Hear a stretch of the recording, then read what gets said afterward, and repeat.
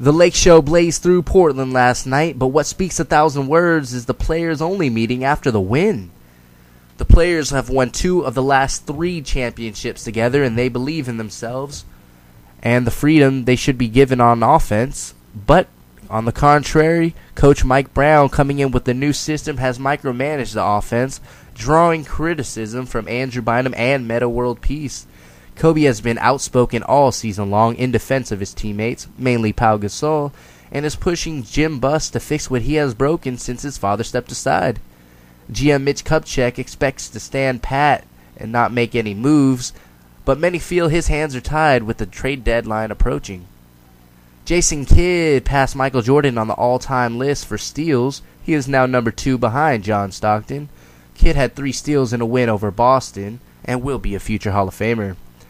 Unfortunately, injuries are part of sports, and Greg Oden found out the hard way. He is going to need a third surgery on his left knee. The former number one pick can't stay healthy, and his NBA career may never really get started. Portland and his family are heartbroken, but the 24 year old wants to give it another shot in a couple years after healing. Best of luck to the big man and his recovery. Speaking of recovery, Tony Gwynn was interviewed after it took 14 hours to remove a tumor in his cheek. The cancer has not spread, and he feels blessed at his immediate progress.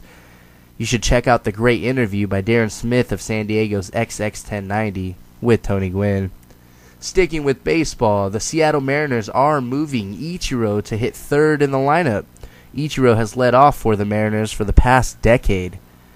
And the Los Angeles Dodgers center fielder Matt Kemp says he shouldn't be given the NL MVP by default.